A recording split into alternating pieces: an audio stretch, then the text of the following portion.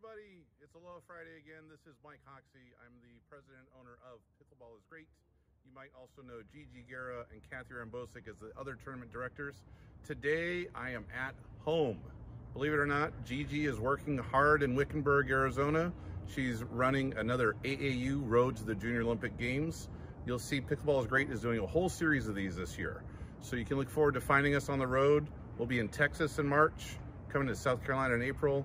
So don't be too surprised to see AAU Pickleball and Pickleball is Great going strong. In addition to that, we still have some USA Pickleball sanctioned tournaments. Next week we'll be in Tucson. In end of February, we're gonna be down in Wickenburg doing another sanctioned tournament, helping support the USA Pickleball as it's growing as well.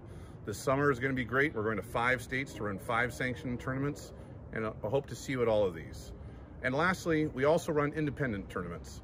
These are tournaments that you can find in many cities, everywhere from Klamath Falls to California. We're coming around to help you bring pickleball to your neighborhood. Don't forget, we wanna make sure that you always have fun. We always believe in strong sportsmanship. And most importantly, let's have some great competition out there. I also wanna take a moment to make sure that I thank some of the vendors, people that have helped us along the way, Gamma has been one of our strong supporters. They are people that really have been a partner of Pickleball is Great over the last few years, and we want to thank them for all of their support.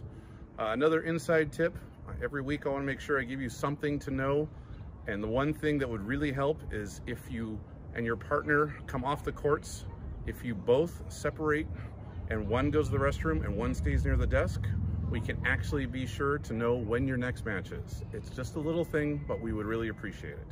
Once again, these are all safe tournaments that are coming up. We all have our COVID guidelines ready. I don't have a mask today because no one's within six feet and we're outdoors. So please remember, safety is fun and we can have a great time together.